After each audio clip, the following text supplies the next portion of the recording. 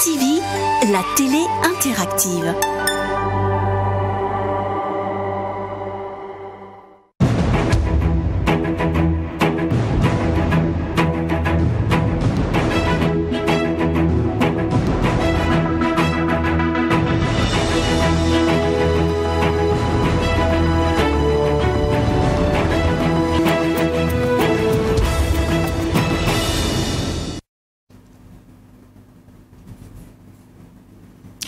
Nouvelle convocation du tribunal de l'actualité. Ravi de vous retrouver sur les antennes des médias leaders 3TV Watt FM. Vous le savez, c'est un rendez-vous pour juger les faits majeurs de l'actualité d'ici et d'ailleurs. Une émission que vous pouvez suivre en streaming sur Facebook et en replay sur YouTube. Je suis Adam Scalet Ouedraogo, président de cette instance. Avec moi sur ce plateau, les juges au siège, Bernard Bougman, Geoffroy Va, bonjour et bienvenue. Bonjour, président Ouedraogo, bonjour, juge Farah, bonjour, madame, monsieur. Bonjour, juge Bougman, bonjour, président, bonjour, auditeurs et téléspectateurs. Le perchoir de l'Assemblée législative de la transition sera désormais occupé par l'ancien chercheur Aboubakar Toroyini. Il a été élu hier avec 59 voix pour 70 votants. Retour sur l'installation des membres titulaires de l'ALT à cette convocation du tribunal de l'actualité. Nous allons également nous intéresser à l'actualité au sein de l'ex-parti au pouvoir, le mouvement du peuple pour le progrès MPP, un parti qui connaît aujourd'hui une saignée avec le départ de 46 membres du bureau politique national.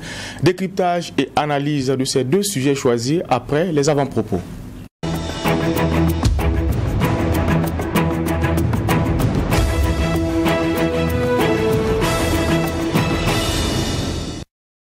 Et pour la partie avant-propos, nous allons donner la parole au juge Bougma. Qu'est-ce qui retient votre attention pour cette convocation?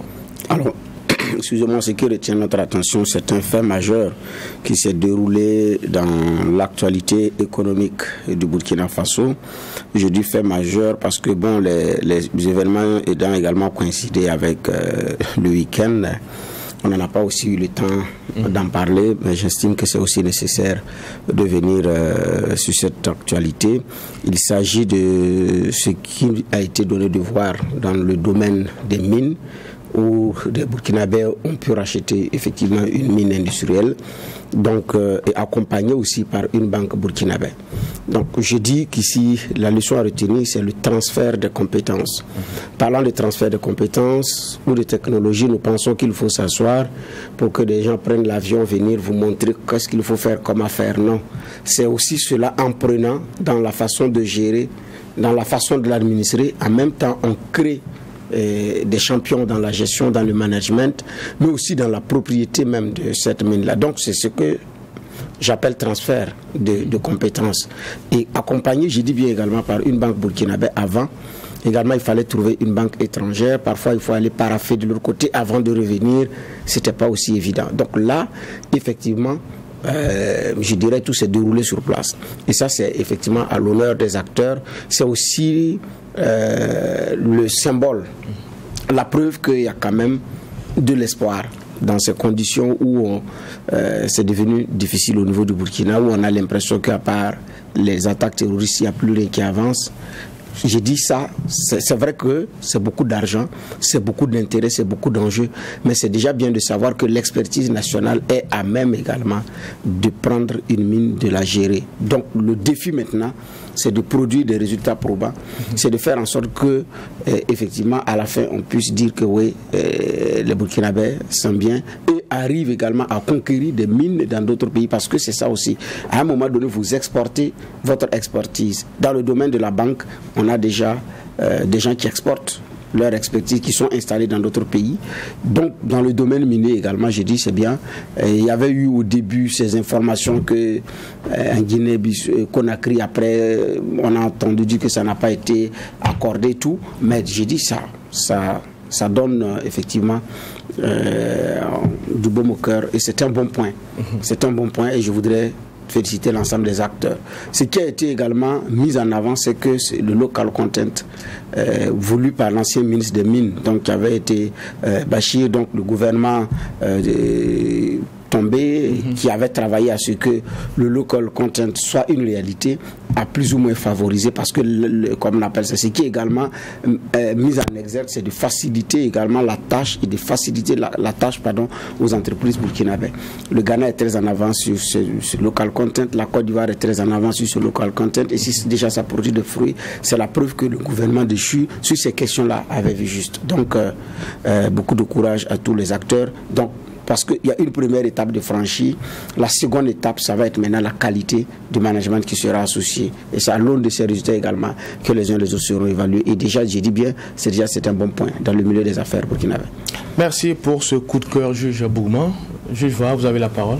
Oui, euh, merci Président. Moi, mon avant-propos va concerner euh, l'ancien président, euh, Kabouré, en appelant que ses avocats veulent saisir la Cour de justice de la CDAO. Ils dénoncent les conditions dans lesquelles le président, l'ancien président est détenu. Et demain, ça fera deux mois de détention.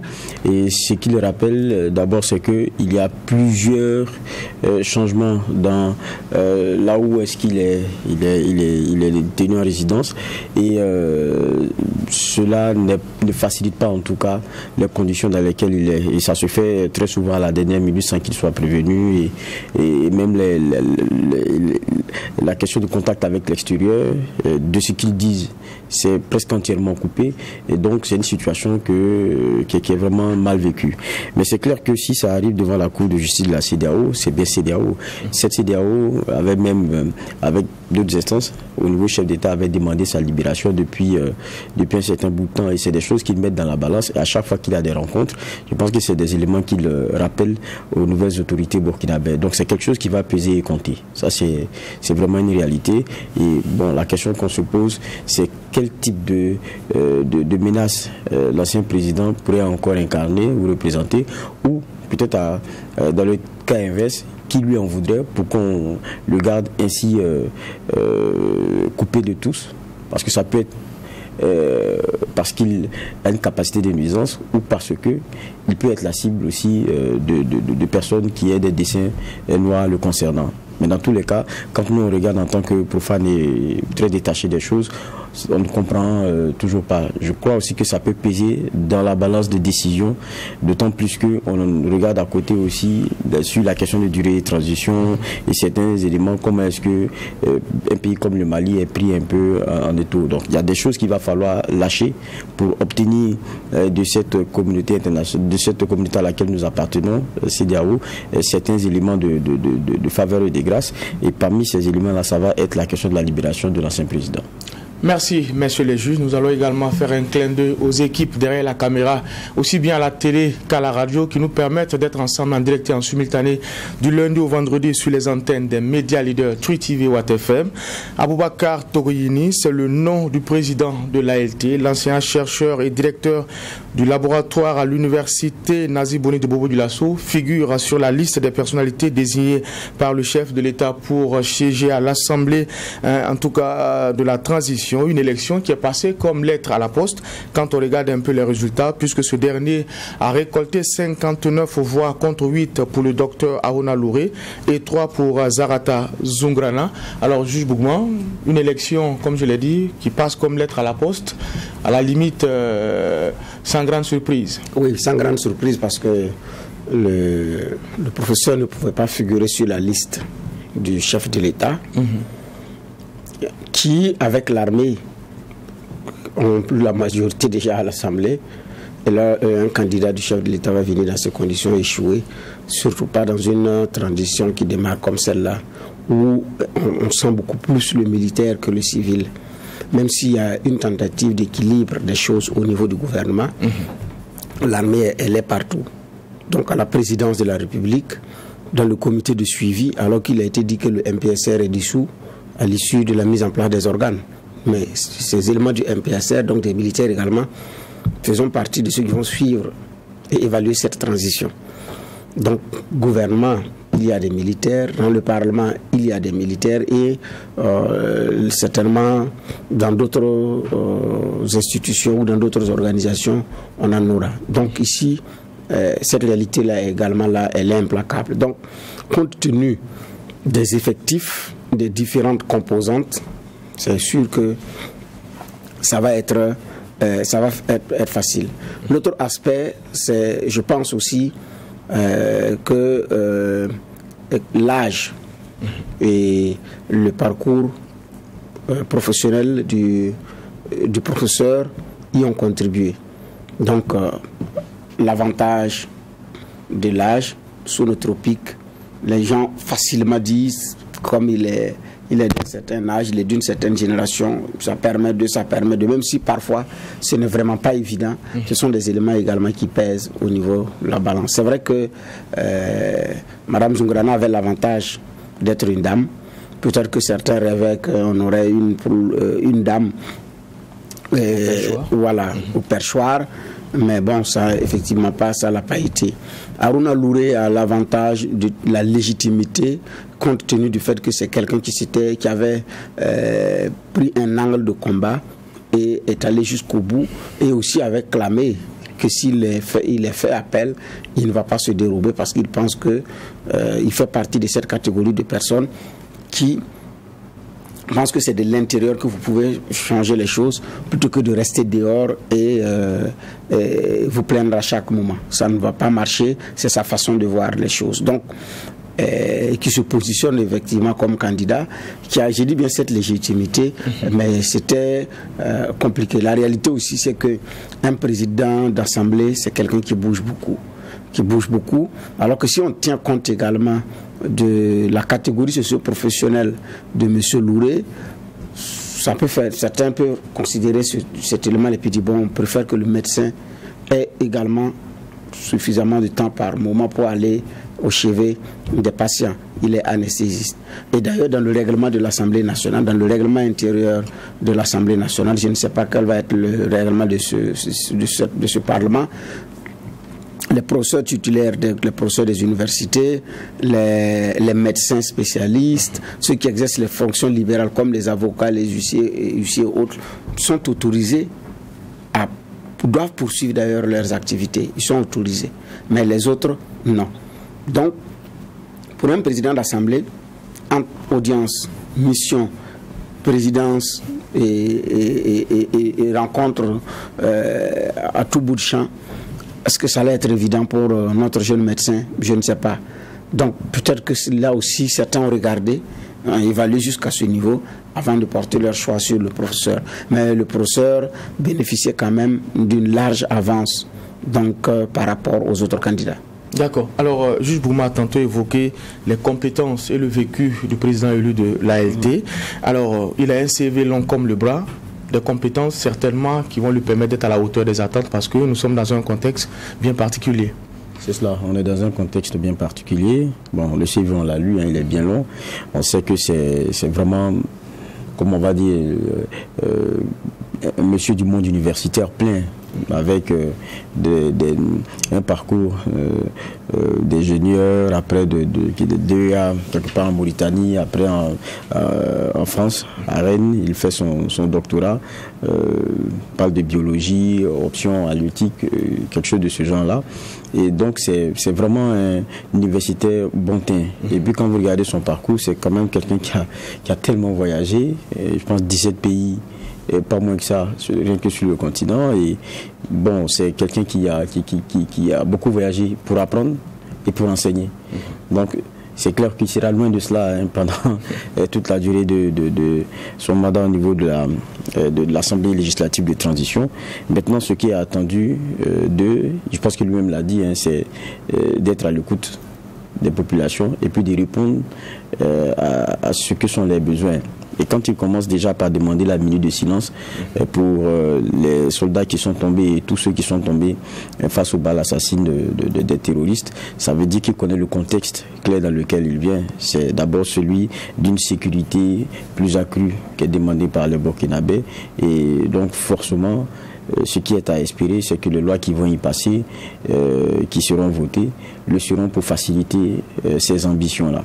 Et qu'ils auront aussi à contrôler de façon plus rigoureuse l'action du gouvernement. Dans tous les cas, ce ne sont pas des personnes élues, c'est des personnes qui ont été désignées. Elles doivent comprendre toute la dimension et la, profondeur de, de ces missions-là Et voilà, on est dans une situation qui est, qui est vraiment difficile. Soit ils auront un nom qui est arrivé à un échec, ou on retiendra d'eux qu'ils ont participé au succès d'une transition qui nous a permis d'arriver à, un ordre normal et voilà, qui, qui, bonifie un peu ce pays-là. On espère que chacun d'eux pourra apporter sa contribution comme on l'a entendu hier.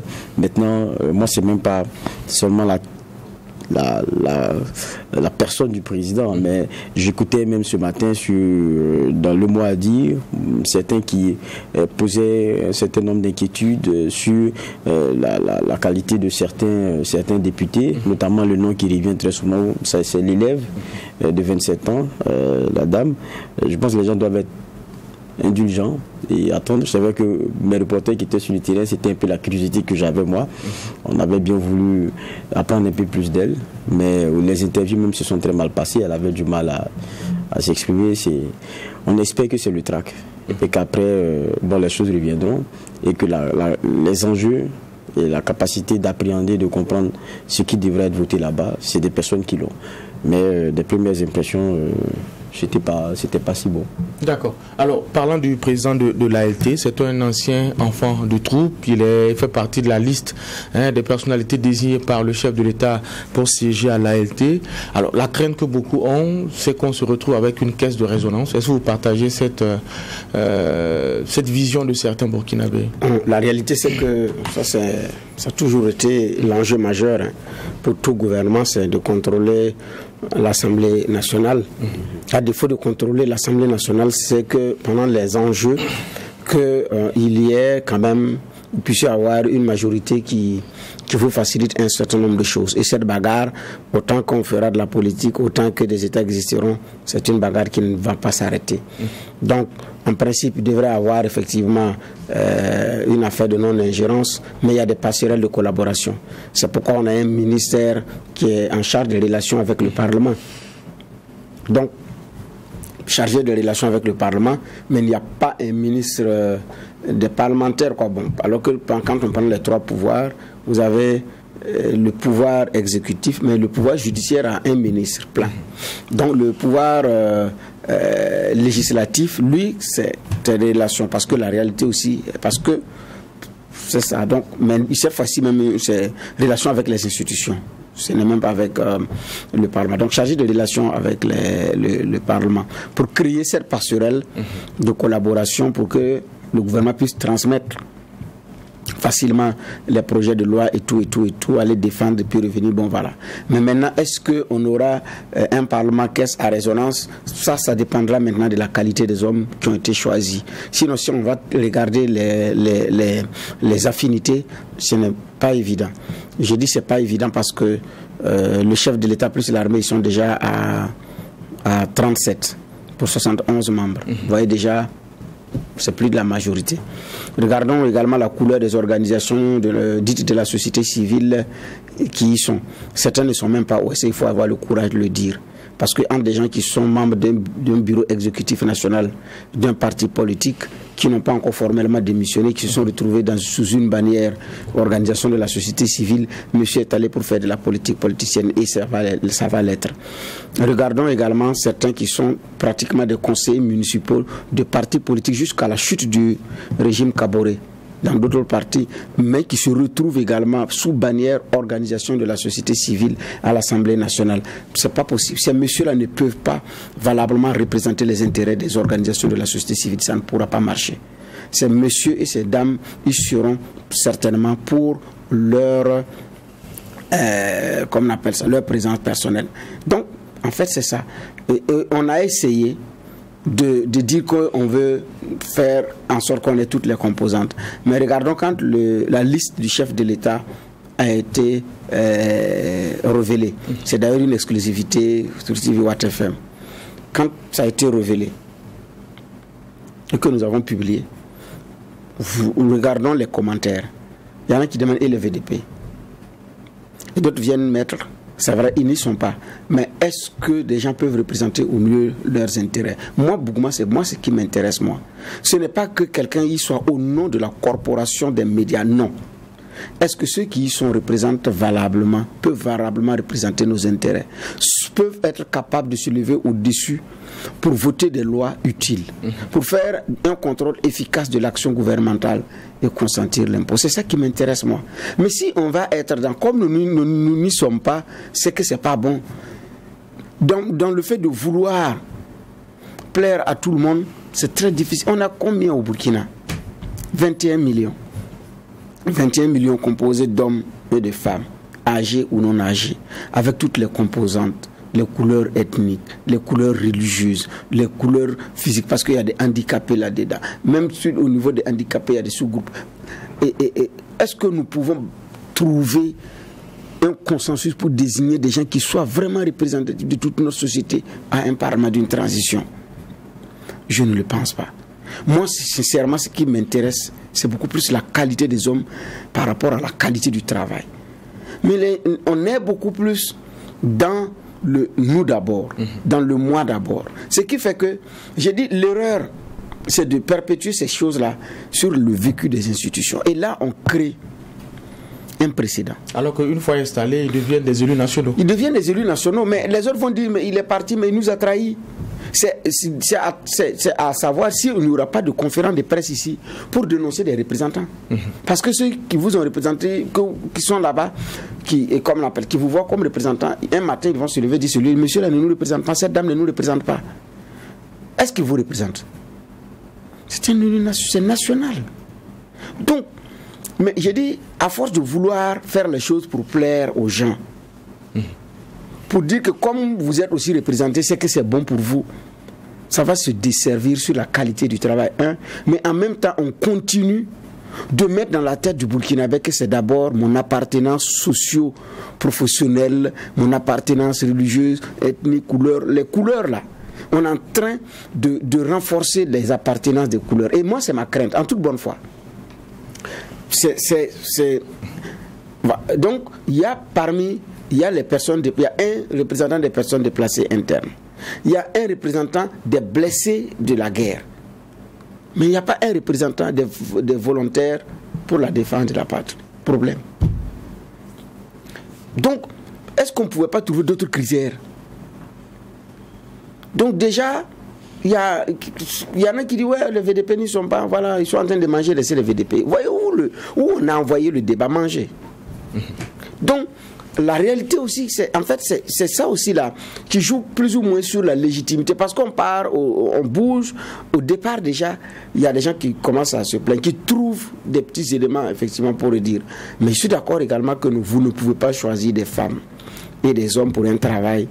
Et le choix fera l'unanimité 100%. Je ne suis pas naïf, c'est pas possible. Mais c'est de s'assurer, c'est de faire en sorte qu'il y ait moins de, de, choses à dire le plus possible. C'est ça. Sinon, on ne peut pas avoir euh, quelque chose sans conteste. C'est pas possible. Même en compétition, vous savez, il y, a des, il y a des mauvais perdants. Même en compétition, il va trouver quelqu'un ou quelque chose pour accuser. Soit l'arbitre, ou bien le terrain. Il y en a même qui vont dire, lui, sa chaussure flottait, il ne pouvait pas tirer la balle. Donc c'est très, très difficile que il y a des mauvais perdants qui vont toujours trouver quelque chose à redire. Ça, on le, on le sait, on le connaît. Même dans les démocraties les plus avancées, souvent, on voit ces choses-là. Mais pour revenir au contexte burkinabé, je pense que nous sommes en train de commettre des impairs. En voulant forcément plaire, nous sommes en train de, de, de, de comment on appelle ça, de commettre des impairs. Pour des lois, pour des gens qui vont arriver avec un langage le langage parlementaire est différent du langage. Il faut d'abord les outiller sur la logistique, sur la façon de travailler avant d'avoir la machine pour, pour y aller. Il y a combien d'anciens députés dans cet hémicycle? Il y a combien d'anciens députés dans cet hémicycle qui puissent constituer déjà une crème? Dites-moi. Pour un parlement d'une transition, on ne vient pas apprendre. Hein. On vient avec un courage de réforme et un minimum de savoir-faire. Certains sont calés mais ce sont des novices dans le fonctionnement parlementaire. Euh, cherchons à savoir, demandons l'expérience des anciens qui viennent de quitter l'Assemblée nationale et qui étaient au niveau de la KJDH. La KJDH s'occupe des questions de loi. Là.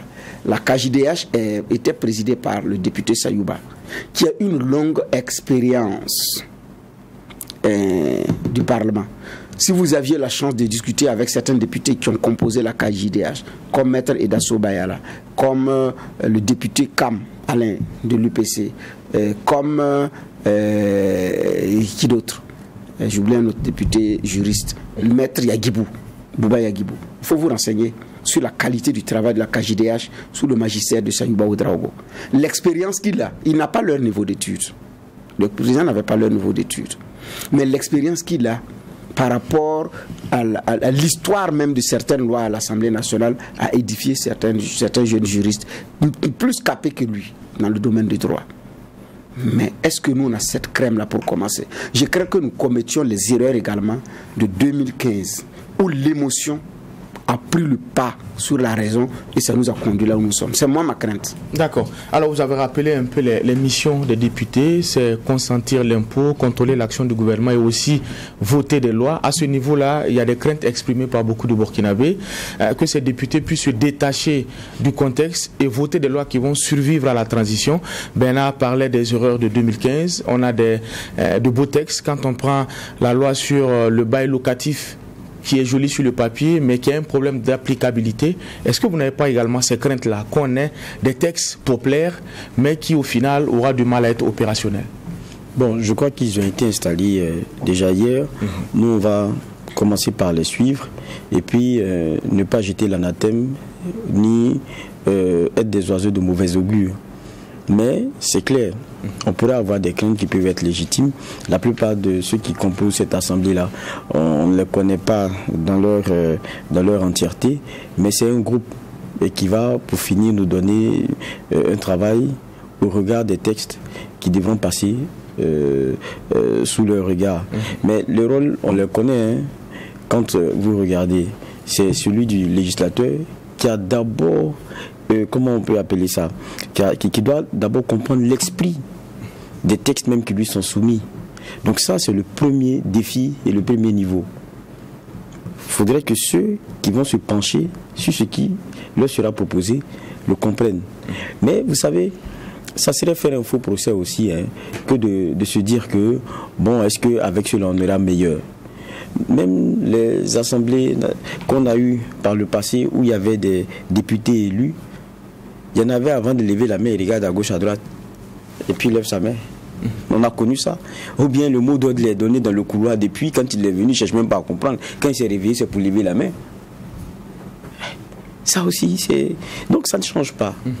Mais ce qu'on peut espérer, c'est que chacun prenne toute la mesure du contexte dans lequel nous sommes aujourd'hui. Et que quand vous y êtes, c'est à la fois un honneur, mais c'est aussi une charge. Je crois que c'est ça qui est important.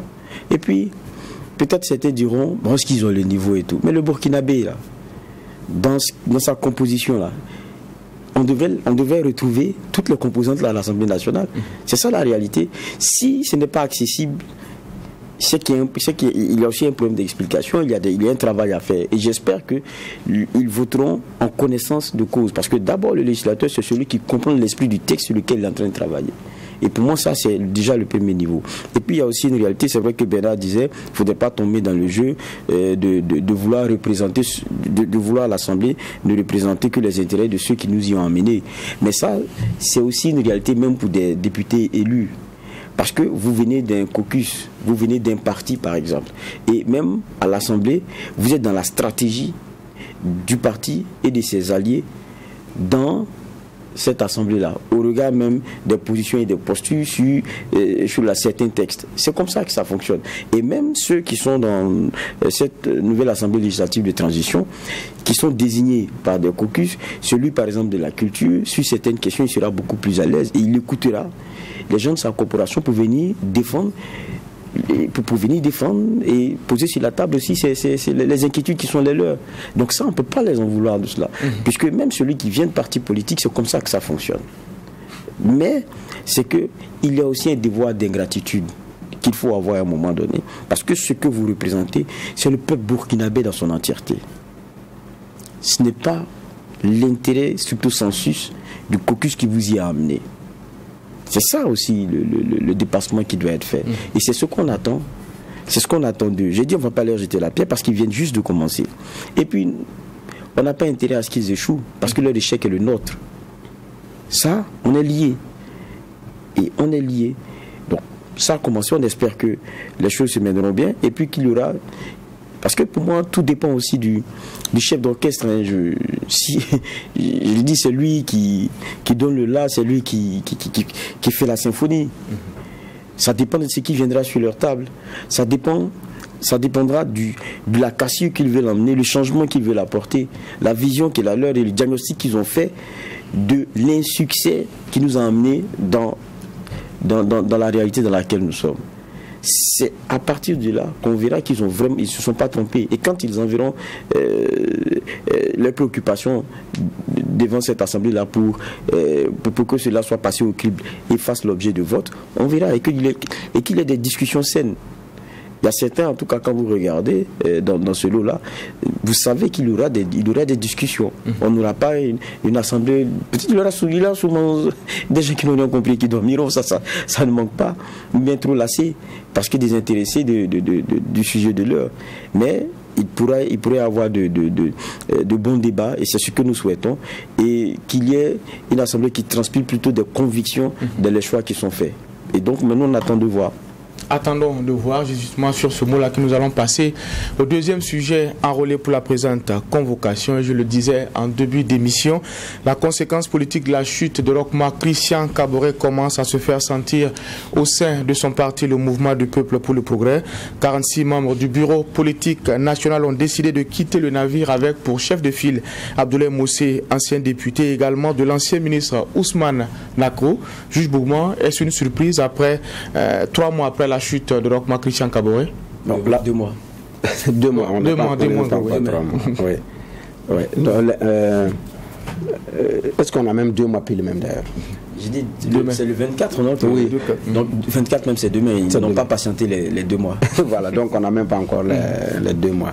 Non, la surprise c'est la durée qui est vraiment très courte. Ça a surpris beaucoup de gens mhm. parce que en général c'est après à l'issue de contradictions internes, vous n'arrivez pas à rapprocher les positions que les uns et les autres prennent leurs responsabilités. Mais ici, ce n'est pas le cas. La pierre d'achoppement, c'est quoi? L'explication majeure, c'est quoi? Parce que Rock est toujours en détention. Parce que euh, le régime est tombé. Parce que le parti a volé un éclat. Parce que le président du parti l'a disparu. Non ou bien parce que les, instances, réunions, vous n'arrivez pas à les faire? Non, puisque vous n'avez même pas deux mois. Donc ici, qu'est-ce qui se passe réellement? Je pense que chacun avait fait son baluchon attendant. Mais euh, c'est aussi la réalité de nos partis politiques. Ce n'est pas construit sur des valeurs. Et comme ce n'est pas construit sur des valeurs, ça ne peut pas tenir longtemps. Parce que nos partis sont à l'image également de, de, la, de, notre puissance colonisatrice. Mhm. ici, prenons les, en dehors de l'ADF, qui est né en 46, non, ça fait 76 ans, du PDCI en Côte d'Ivoire, créé en, 60, en 46 également, qui tient. Les partis historiques qui tiennent sont combien? Le PAI reste, qu'est-ce qui reste du PAI aujourd'hui, qui n'existe même plus? Parce que ça a fusionné, ça a disparu dans les fusions. Mais prenons le, les démocrates aux États-Unis. Ça fait 194 ans que ça existe. Les républicains, ça fait 168 ans que ça existe.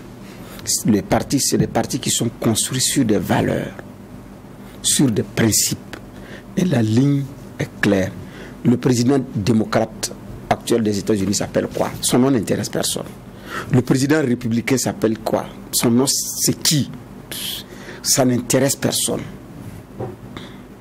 C'est qui est le candidat? Donc tout le travail, tout le marketing à l'intérieur, c'est de chercher un bon produit vendable et aller vendre aux Américains qui vont acheter lors d'une élection. Et on appelle l'élection et puis c'est lui qui passe. Obama, c'est un très bon produit. Bill Clinton, c'était un très bon produit. Bush, c'est pareil. Parce qu'il y a toute une machine du parti qui se met en branle pour vous. Donc, Mais si nous revenons, je dis bien à, à, la, à la France, parce que c'est de là-bas nous prenons, nous calquons tout. Le plus vieux parti, c'est quel là? C'est 77 ans, mais c'est le Parti socialiste qui a aussi connu des mutations.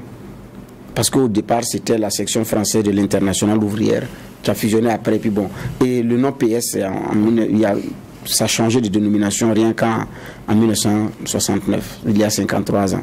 Mais prenons les, autres partis. Vous avez le Rassemblement pour la République, qui a été créé à 46 ans, mais qui après, qui a, qui a muté, qui a muté pour donner l'UMP en 2002 qui a muté après pour donner les républicains en 2015. Donc des mutations en mutation. C'est pourquoi j'ai dit, prenons le cas burkinabé. Front populaire, ODPMT, CDP, MPP. Le MPP, à l'intérieur du MPP déjà, on a des partis RPI. Le CDP a donné beaucoup. MPP, même bien avant le MPP, comme le CDP c'était une coalition, la branche NPP, PSD, je pense en son temps, la branche des, René Emile Caboret, des, euh, comment on appelle ça, euh, des Marc Yao, avaient déjà claqué la porte pour fonder également leur parti politique. Donc, c'est comme ça. Parce que ça ne se repose sur rien. L'une des difficultés d'ailleurs que le CDP avait, c'est quoi? C'est d'être né au cœur du pouvoir. Du Front populaire, c'est venu en, ODPMT, ODPMT, CDP, mais ce n'est pas un parti qui est né dans l'opposition, donc il y en a qui ont rejoint le CDP au pouvoir et qui n'ont découvert l'opposition qu'à l'issue de l'insurrection populaire. Et vous avez des cadres au, au CDP qui, depuis la création du CDP jusqu'à sa chute, ne connaissaient pas, n'ont pas connu combien coûte un litre de, comment on appelle ça, de carburant ou un kilogramme de riz. Parce qu'ils ont bénéficié des, des, délices du pouvoir, des bénéfices du pouvoir, des bons de carburant, les bons d'achat, jusqu'à même les, soins, tout jusqu'à tomber. Donc, la réalité aussi, elle est là implacable. Donc, compte tenu du fait que les partis, nos partis ne, ça ne reposent sur aucune valeur, sur aucun principe, mais c'est l'intérêt immédiat parce que c'est un regroupement de conglomérats euh, d'intérêts, des gens qui ont des intérêts, qui calculent qu'est-ce qui m'arrange, qu'est-ce qui m'arrange. En politique, il n'y a que des opportunités. En fait, et puis on a mis dans la tête des jeunes que c'est ça. Hein. Mhm. Donc, malheureusement, les anciens ont inoculé ce virus-là aux jeunes qui portent très bien d'ailleurs et qui sont en train aussi de cloner. Donc quand on regarde, c'est pas étonnant. Mais c'est la vitesse avec laquelle les choses se sont emballées qui m'étonne. Aujourd'hui, qui parle de, du président Kabore Personne. En dehors des médias ou en dehors des éléments de la communauté internationale, son parti est où? Mais un parti qui n'avait pas la force ni l'ancrage du MPP et qui avait pris fait cause pour Gibril Bassoulé n'avait pas chômé, la NAFA. À tel enseigne même que la NAFA, à un moment donné, a organisé des marches pour la obtenir la libération de leurs champions. La NAFA était pour beaucoup dans le soutien apporté à Gibril Bassolé. Et c'est un fait. Maintenant, c'est vrai que un mois et demi, bon, moins de deux mois, on ne dira pas que la détention dure ou elle ne dure pas, mais une détention arbitraire reste une détention arbitraire. C'est vrai que des informations qui nous parviennent, les questions sécuritaires liées à des gens qui veulent s'en prendre au chef de l'État, il paraît que c'est sérieux. Est-ce que c'est vrai? Est-ce que ce n'est pas vrai? Je ne sais pas. Il paraîtrait également que la famille est au courant, c'est pourquoi elle ne dit rien. Est-ce que c'est vrai? Est-ce que ce n'est pas vrai? Franchement, je ne sais pas. Mais il y a quand même un fait majeur. Le parti ne parle pas de son champion. Les, cadres du parti sont occupés à comment est-ce que je me repositionne. Comment est-ce que je, je me gère. Mais pour certains, ce n'est pas étonnant puisqu'il y a des gens qui avaient leur projet là en tête. C'est pourquoi le RPI est né. Avant même que le, n'y ait des cendres fumantes au niveau du MPP, au niveau de la chute du régime, le RPI est né dans ça. Le, bon, on ne pourra pas mettre dans le même le, NTD parce que le NTD c'était bien avant. Mais c'est quand les guerres ont commencé véritablement à l'intérieur que le RPI est né. Et ensuite, euh, le parti euh, présidé par l'ancien président du conseil régional de la Boukoul du Mouhoun, C'est dans ces conditions également que ce parti est né, avec l'objectif en son temps de débaucher plusieurs députés, tous bords confondus, tous partis politiques confondus, pour constituer une force politique majeure.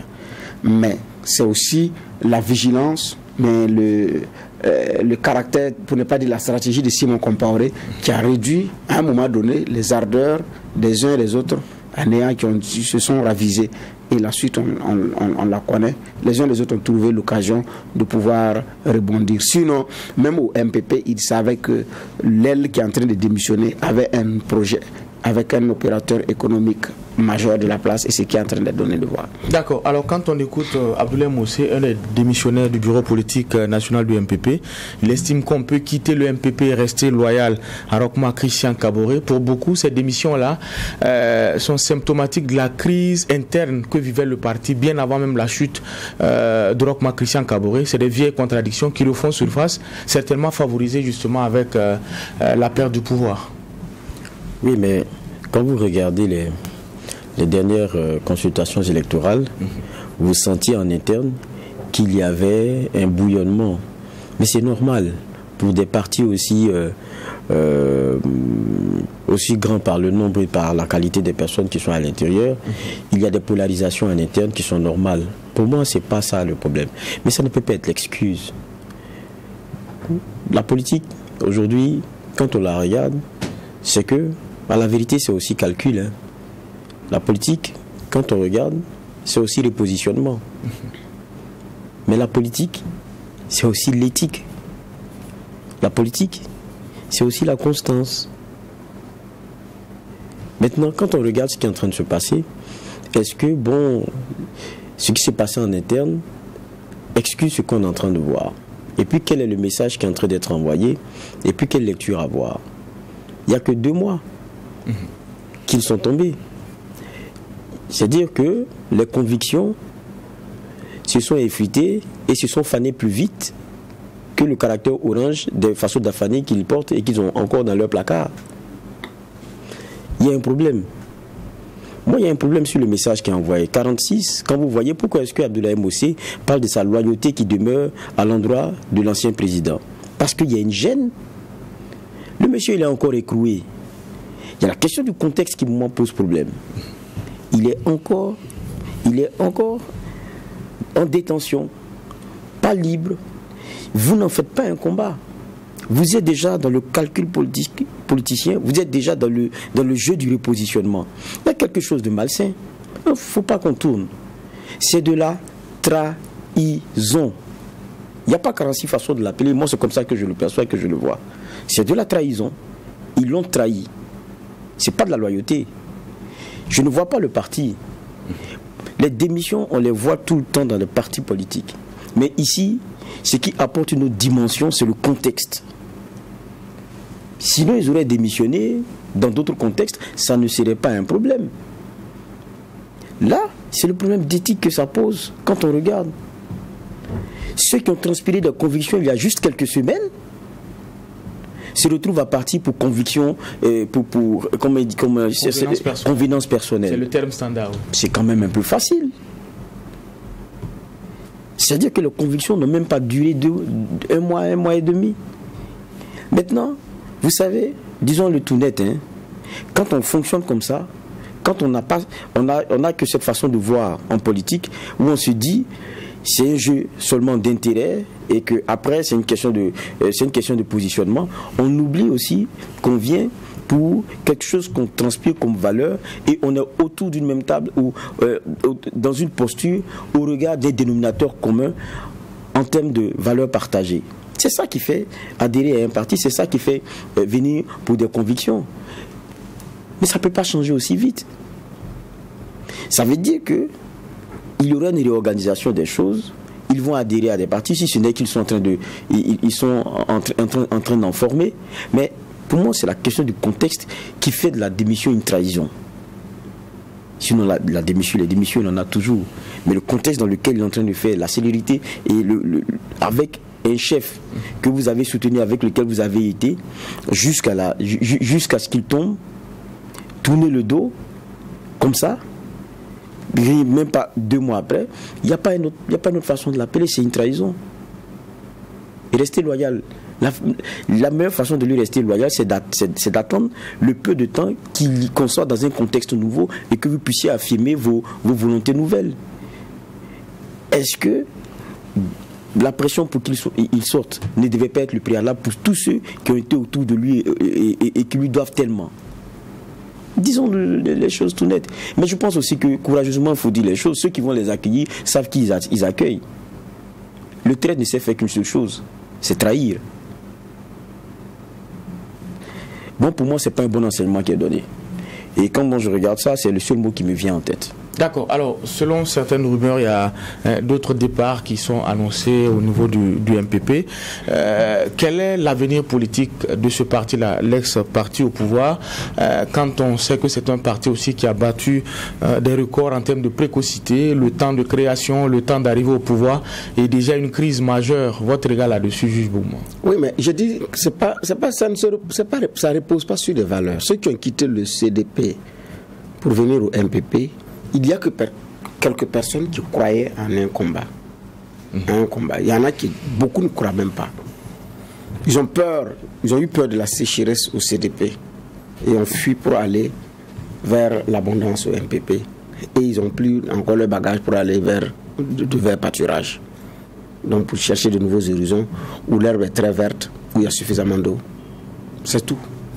Maintenant, il y en a qui croient réellement en des convictions qui vont peut-être rester au MPP. Mais ce n'est pas MPP seul. Hmm. Non. Le vent de changement non, non, non, non, non. Regardez le, le mouvement pour le Burkina du futur. Mm Daouda Simboro. Il reste qui Également là-bas? Euh, l'ancien député maire de Houndé. Lui aussi, il a plié bagage hier. Hmm. Il paraîtrait qu'il y a d'autres également qui vont venir. Parce qu'ils avaient déjà d'autres vieux problèmes avant, ce, avant la chute du régime.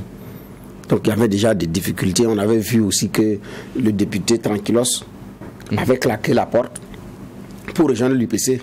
Ça, on l'a vu euh, après, les, après les élections. Il avait rejoint l'UPC. On l'a même reçu ici au niveau du tribunal de l'actualité. Donc eux aussi, ils avaient des problèmes à l'interne. Donc la situation ayant changé, et donc c'est aussi favorable pour certains de régler en même temps ces choses-là. Donc le MBF est parti. À l'UPC, c'est pas aussi évident qu'il n'y ait pas de départ compte tenu de, ce que j'ai dit, il y a de nouveaux horizons où il y a des terres encore euh, vierges il y a des positions à prendre. Parce que plus vous perdez aussi du temps, vous arrivez, on dit que vous êtes des ouvriers de la 25e heure. Mhm. Donc vous n'avez pas droit à telle ou telle place. On l'a entendu même au MPP. Que nous, nous faisons partie de ceux qui avons démissionné aux premières heures. Et après, c'est des gens qui sont venus après, sont même venus après l'élection pratiquement. Mhm. Mais c'est eux qui ont les gros postes, qui, qui ont tous les avantages et nous, n'a rien. Donc, pour éviter d'arriver à la 25e heure, à défaut d'être euh, de ceux de la 12e heure ou de la première heure, il y en a qui vont aller plus vite. Donc ça ne va pas tarder et ça ne va pas être seulement au MPP. Actuellement, le, bureau politique national du MPP est estimé à 1400 membres. Il y a 46 départs. Donc quand on fait la comparaison, on pourrait se dire que pour le moment, ce n'est pas beaucoup, mais pour un parti politique, 46 militants, c'est beaucoup. 46, c'est beaucoup, parce que quand même, même si chaque militant a un militant derrière lui, ou a deux militants derrière lui, c'est déjà beaucoup. Alors que parmi les départs, vous avez eh, Mossé était député, mm Aromba, député, Khalil Bara, député, et puis l'autre était ministre, Nako. Donc ça dit quand même... Eh, euh, ils ont un, minimum de militants quand même derrière eux. Oui, mhm. ils ont quand même un minimum de militants derrière eux. Ça, il ne faut pas qu'on se voit la face. Donc la réalité aussi, elle est là. C'est un parti qui va avoir euh, de la difficulté dans certaines zones, dans certaines localités. Au NTD, hier, il y a eu combien de départs? C'est sur la même demande. Hein. Je crois que ça fait 5 ou 6 ou bien 7 par là au NTD. D'ici la fin de l'émission, si je trouve, je, vais vous donner le chiffre exact. Donc, même au NTD, ça a commencé. Donc, ça veut dire que cette, euh, cette démission-là, mm. ça va venir dans les autres partis politiques parce que, apparemment, il y a un objectif commun. Donc, il y a un travail euh, qui est en train d'être fait. Et ceux qui ont quitté au niveau du NTD, ils disent qu'on les a accusés à tort ou quoi, et puis bon, tout porte à croire que le, euh, ils n'ont pas été défendus, donc ils sont partis. Donc d'ici là, je vais vous retrouver la, liste des démissionnaires au niveau du, NTD. Mais j'ai dit, ce n'est pas, voilà, voici, j'ai la liste. On a combien de euh, de personnes. Il y a une qui n'a même pas mis son nom, elle a mis seulement sa responsabilité, la responsable des femmes euh, et la trésorière du Wayuga. Donc, le responsable des femmes et la trésorière, ça fait 2, 3, 4, 5, 6, 7. Voilà, je crois 7 sur la même liste de départ. Mais l'argument avancé, c'est dire qu'au regard des fausses accusations délibérément orchestrées au plus haut niveau d'un parti en connivence avec des marionnettes locales contre nous, donc qu'ils sont accusés d'être en connivence avec un parti. Euh, que c'est des marionnettes au niveau local qui les accusent de connivence avec un parti. Bon, c'est comme, comme le parti ne nous a pas défendu. Bon, franchement, pour des arguments de départ, c'est tiré par les cheveux c'est mieux de dire avec la formule consacrée qui veut rien dire, conférence personnelle, on va avoir la paix. L'essentiel étant qu'on le parti, c'est que vous partez. Donc, ce n'est même pas seulement au MPP. Donc, regardez, c'est une tendance générale. Mais j'ai dit, c'est l'image des partis politiques burkinabés. Il n'y a pas une fondation solide. Donc, quand il y a un vent qui souffle, on se réoriente autrement. Mais c'est un parti que le NTD aussi avait d'autres problèmes liés aussi au, partage de postes. Il y avait déjà des frustrés dans les rangs et, et non des moindres du NTD. Donc ce qui se passe, ça va contaminer les autres partis. Ça va également être un coup dur au niveau du MPP, mais c'était quand même euh, des signes visibles. D'accord. Alors, je vais avoir votre regard justement sur euh, le changement annoncé sur l'échiquier euh, politique national. Bernard Bougman l'a dit, le vent de changement va certainement souffler sur d'autres partis. D'aucuns estiment aussi que les partis comme le CDP vont se refaire une santé. Donc finalement, c'est un chamboulement total qui va peut-être s'opérer sur la scène politique. Oh, bon, le CDP se réfère à une santé, ça dépend parce que le CDP aussi, il faut dire qu'il y a un clivage interne. Mhm. on, sait que il y avait deux versions, on parle de, euh, renouveau et fondamentaliste. En tout cas, c'était quelque chose de ce mhm. genre-là. Et quand vous regardez aussi, euh, beaucoup de ceux qui étaient partis sont revenus un peu plus forts avec la nouvelle ère dans laquelle nous sommes. Donc, euh, comprenez que là-bas aussi, il pourrait y avoir mm. euh, des, des, en fait, des second rounds. Ça, on attend de voir. Mais c'est clair qu'il y aura une redistribution des, il y a déjà une redistribution des cartes. Et puis, chacun essaie de, de voir là où il peut, il peut poser valise. Mm. Euh, on a compris clairement que pour ce qui est du MPP, Bon, il y a beaucoup qui n'ont pas tenu dès que le premier vent a, soufflé. Mais moi, quand je parlais tout à l'heure du mot, du mot trahison, ça concerne certains. Parce que la trahison, c'est vis-à-vis de Roch Kabouré et de ce qu'ils ont été autour de lui. Pour moi, ça, ne peut être vécu que comme une trahison. Pour d'autres, qui sont, euh, quand on prend la question sectes, qui sont très loin, ça c'est autre chose, c'est des postures, c'est des éléments qui sont, euh, qui sont clairs. Mais quand vous regardez, il y a des partis qui étaient en il y a des qui étaient en gestation. Non seulement, il y a des partis aussi qui avaient même été créés, mais euh, qui, du fait de, de, de, certains regards et de certains intérêts, ont décidé de mettre les choses en berne, mais on apprend que ceux-là vont revenir et qui risquent de copter fort et que beaucoup de départs se font aussi par rapport à eux. Donc il y aura une vraie redistribution des cartes. Mhm. Mais la vérité, c'est que quand vous regardez, euh, la transition et ceux qui les mènent disent quoi?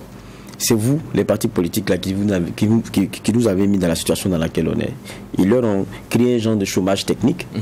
Aujourd'hui, c'est le jeu de redistribution de cartes.